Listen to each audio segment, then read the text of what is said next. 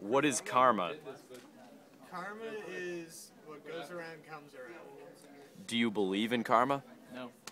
Yeah, I do. Why do you believe in karma?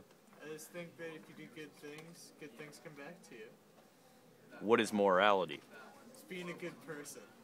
What makes people moral? Just doing good things. Take a look at that. What does it mean to be good?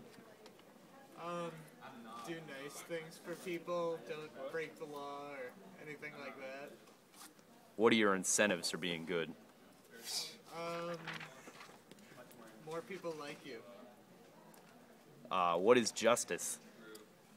Um, it's like being fair and stuff like that. Why might it? oh, I'm not done. All right. Get what you deserve. All right, now I'm done. Why might it be important to think about these topics?